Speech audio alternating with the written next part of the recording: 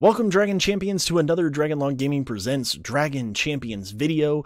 Uh, thank you so much for being here. I really do appreciate it. If you are new around here, hit that subscribe button, hit that notifications bell, drop a comment down below, and hit that like button. Really do appreciate all the support that is out there. Today, I bring you an in-depth character guide on Freezard. I know I promised in my last in-depth character review that I would be doing uh, Revel and and Snorri next, but I thought that I need to talk about Freezard first before I get to Revel and Snorri. So the Revel and Snorri video will be coming out momentarily. However, let's get into talking about Freezard.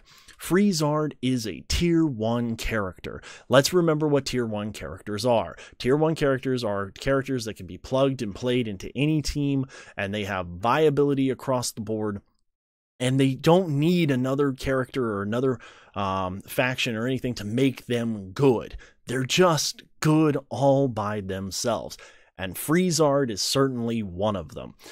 Let's talk about why Freezard is so good. First off, he has base speed. Now, we're going to talk about the character information. All this information will be linked in the description below at beadragonchampions.info forward slash freezard or beadc.info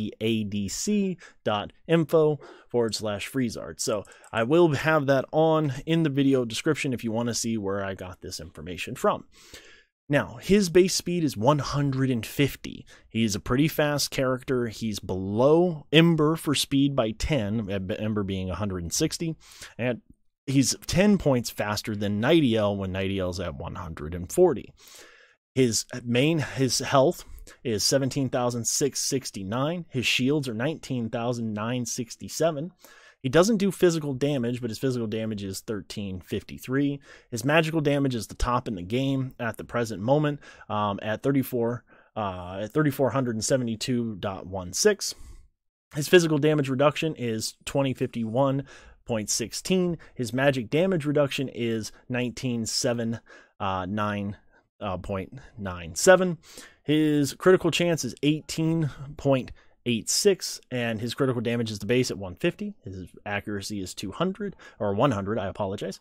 Is 100 his dodge is 2% his potency is 41 his tenacity is 27 his penetration is two, uh, 70, uh, 750 and his life steal is 0 but what makes Freezard so good? Freezard's so good because he's so good everywhere in the game. Right now, he is amazing inside Arena. He is also amazing inside the raid. And we will talk about both of those things. First, let's get to his first basic ability, Frozen Arrow. It deals 230% magic damage to an enemy and has a 75% chance to inflict slow for two turns. All right, the slow here is what makes him so good in the raid. The slow makes it so hard orc, who I usually use him on, it slows him down and makes him so he actually, you know, does, takes less turns and that sort of thing. And so that's really, really, really good. Second, his frost buff does 220% damage to three enemies and has a 50% chance to inflict armor decrease for two turns. This also inflicts two bosses and makes them so you can do more damage. It also hits everybody in the raid, you know, Hard Orc and Hard Orc's minions, Mar, uh, and Corcorum. And so that's really nice as well. So you can burn through those ads on that phase.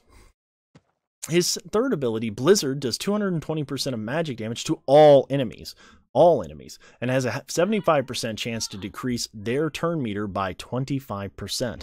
So, another turn meter reduction sort of uh, of thing another turn meter. I'm so sorry. I've been working so much and i've been super tired so please bear with me um, through uh, the video to a certain extent so that's what we're looking at here is you have 75% chance to decrease their turn meter by 25%. That's huge. It really helps with turn meter um, and it makes everything slow down so you can get even more damage. And his survivor, his passive ability survivor, he Freezard survives a fatal blow. Any effects active on him are removed.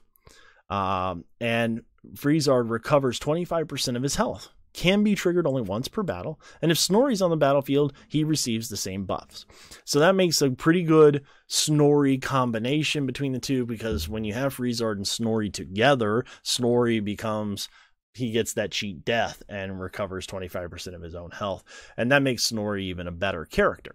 Uh, but as you can see, Freezard doesn't need anyone to help him out and just be amazing. So let's talk about how he should be ruined. Now, right now you're seeing my test account. Uh, we have him at gear 11. We have him ruined out.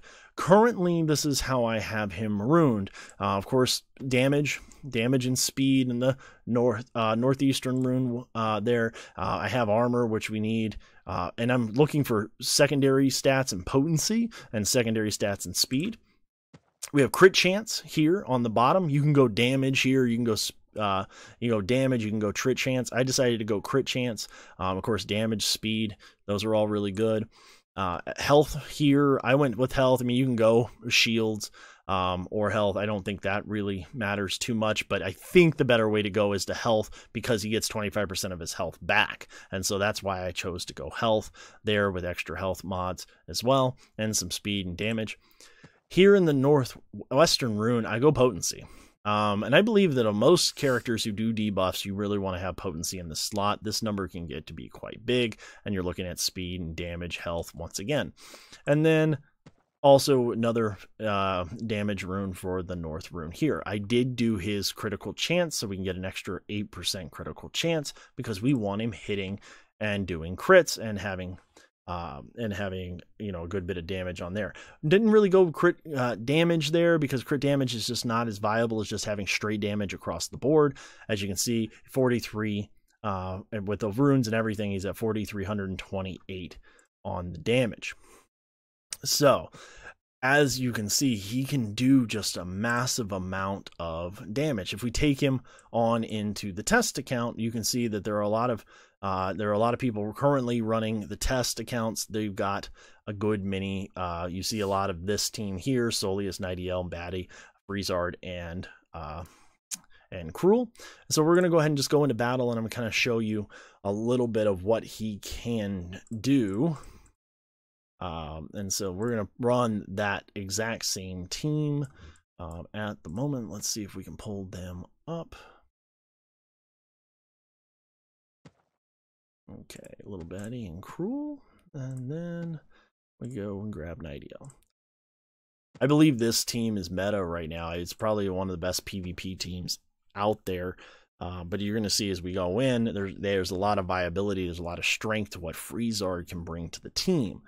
Um, and so I think that you'll end up liking the gameplay. Uh, if you saw my last video, um, you saw Freezard just do a massive amount of damage inside the raid, and he will do that.